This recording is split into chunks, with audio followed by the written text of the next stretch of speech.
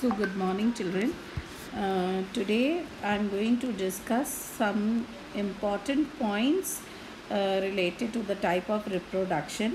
We have already done few videos on the type of reproduction, which was a general thing, but now some additional points I want to add here regarding asexual and sexual reproduction. So, as you see here, asexual reproduction um, there are two types of reproduction. One is sexual and the other one is asexual. We all know that. Now children here as you see asexual reproduction is the one where no fusion of gametes will take place. We have done this. And sexual reproduction is the one where gametes will fuse. Okay. Second is only single parent is involved here. And here two parents are required. Now this case where sexual reproduction requires two parents this is the normal scenario. That means normally sexual reproduction will take place only when there are two parents one should be the male and the other one is the female. But exceptions are always there. Now we are going to study about those exceptions. So i have written here exception. It also takes place from one parent. That is some organisms are bisexual or also known as hermaphrodite. Like for example earthworm. So we know that earthworm is the organism and it is the single organism but it contains both the gametes or it produces both the gamete that is male and female. Now children earthworm produces both male and female gametes but it will share these gametes with another earthworm for fusion why because earthworm ऐसा नहीं होगा कि earthworm the single earthworm which is producing the male gamete that particular male gamete will go and fuse with the uh, female gamete of the same earthworm this will not happen okay so what the earthworm do is suppose there are two earthworms a and b so the earthworm a will give the male gamete to the earthworm b and it will take the uh, female gamete from uh, earthworm b. That means they will interchange the gamete and both of them will get fertilized. This is how the earthworm uh, works okay? Uh, the, this is the case of earthworm. Next, there is another exception, children. Another example here.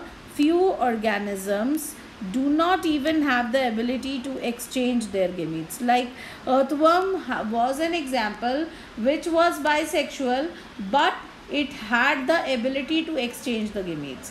But there are certain uh, organisms which cannot even exchange the gametes like tapeworm. Now, tapeworm are the ones which are found in the human intestine. We all know that. And every human has a particular type of uh, one uh, tapeworm only. So, what will, how will the tapeworm exchange the gametes? Because it will not happen that the tapeworm will say that I'll go outside the body for fertilization and then I'll come back again. This will not happen. So, how does the tapeworm fertilizes? You see, they do not have the option of exchanging the gametes as there is only one type of tapeworm in one human. So it is the example of self-fertilization. Now in this case the tapeworm what we it will do it will uh, fuse the male and the female gametes produced by the same one organism. So that is the example of self fertilization that means that particular single earthworm will produce both the gametes and those gametes produced by the same organism will get fused and the fertilization will take place. So this is the uh, uh, exceptions about the um, sexual reproduction.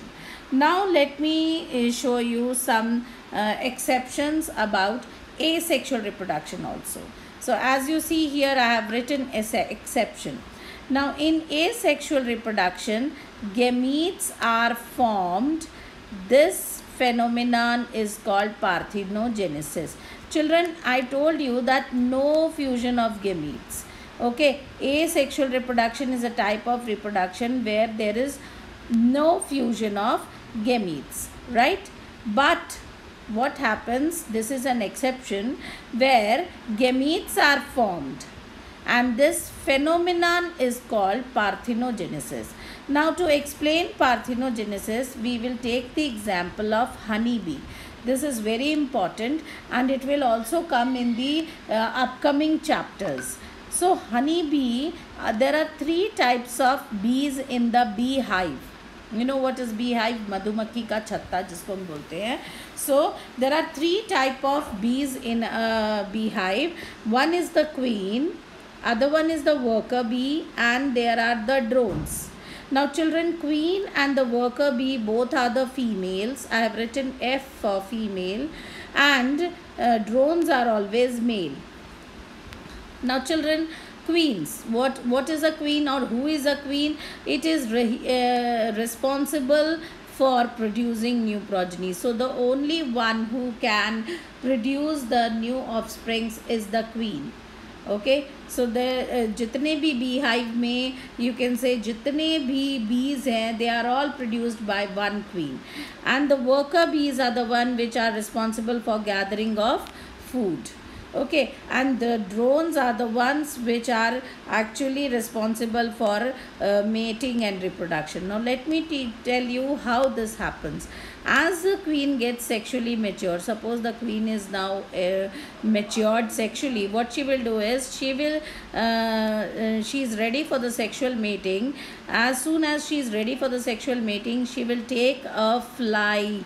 She will take a fly which is called nuptial flight now what is nuptial flight she will leave the beehive and she will fly far off as soon as she flies far off the drones are after her they run after her for mating.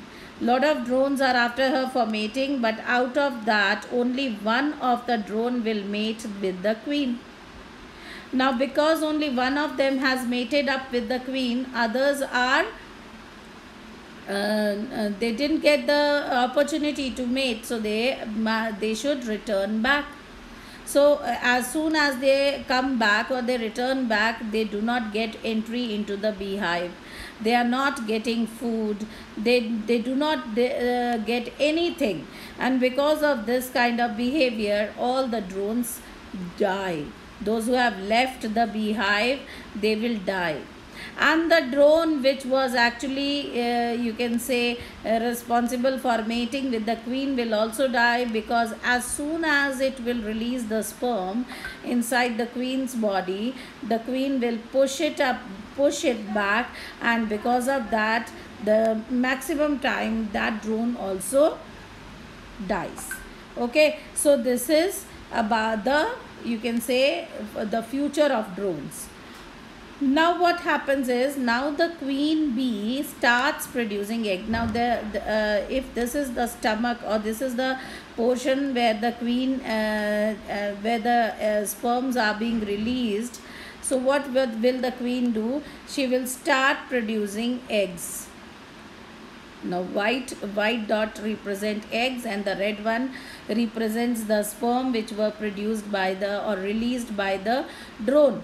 Now what will the queen do? The queen will start producing eggs. Now eggs are N diploid and the sperms are also N which are released by the drones okay they are already present in the body now what will queen queen do she will start the fusion inside her body she, what she will do she will produce egg and then she will allow the egg and the sperm to fuse and as soon as the egg and the sperm will fuse a diploid egg is formed okay we why are we calling it as egg because the queen is producing eggs but she has not released the egg outside the body understood. So as soon as the gametes are formed by the queen and the already the gametes are present inside the male gamete are present inside the body the queen will allow the fusion of the two gametes and now there is a diploid egg which is formed inside the body of the queen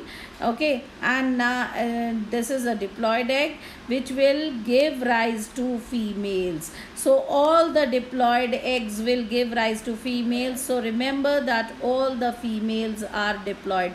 That means the queen and the worker bees both of them are diploid organisms. So queen is also diploid Worker bees are also diploid but worker bees are sterile. Worker bees are sterile females. So till uh, remember one more point which is important is till one queen is living no other queen can be there in the beehive okay now after some time now children there is a limit to these sperms which were released by the uh, drone तो एक point ऐसा आएगा when the sperms will be finished now when the sperms are finished और when there is no sperm left the queen is still producing egg so now the queen the eggs which are produced by the queens they are what the, now the eggs the queen is producing, they are haploid, that is single n, or unfertilized gamete and all these eggs will give rise to drone or males. So remember that drones are always haploid. All drones, now uh, again, now these drones will give rise to, drones will give rise to male gamete and because the drones are N or haploid, so the gametes are also haploid. So which division will they uh, follow? They will follow mitosis equational division. So see all drones will do mitosis to produce gametes. So this is an example of asexual reproduction